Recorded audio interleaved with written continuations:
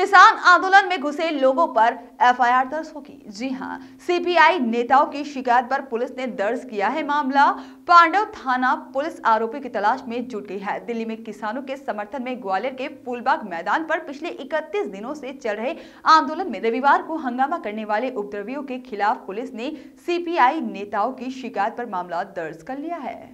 आपको बता दें कि यह उपद्रवियों ने पहले मंच पर कब्जा करने का प्रयास किया था और जब वे सफल नहीं हुए तो मारपीट भी की थी। साथ ही मंच के पास लगे पोस्टर, बैनर फाड़ दिए गए और किसानों का नेतृत्व कर रहे माकपा नेता पर अखिलेश यादव ने आरोप लगाया है कि यह हमला करने वाले स्वयंसेवक संघ के कार्यकर्ता हैं और जिसमें ज़्यादातर लोग चेहरे पर केसरिया साफा बांधे हुए थे और साथ ही में हंगामे के बाद फूलबाग पर किसान आंदोलन स्थल पर फोर्स तैनात कर दिया गया था। साथ ही पुलिस ने उपद्रवियों के खिलाफ मामला दर्ज कर लिया है।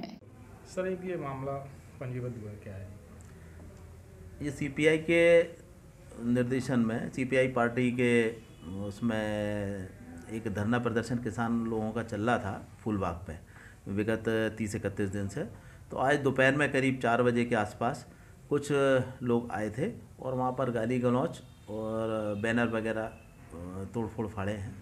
तो इस संबंध में इनकी पार्टी की तरफ़ से एफ़ आई आर हुई है सीपीआई की तरफ़ से तो प्रकरण पंजीबद्ध कर विवेचना में लिया गया। संख्या कितनी है? करीब पंद्रह लोगों के खिलाफ उन्होंने एफ़ आई आर कराई। इसमें नामजद भी है कुछ?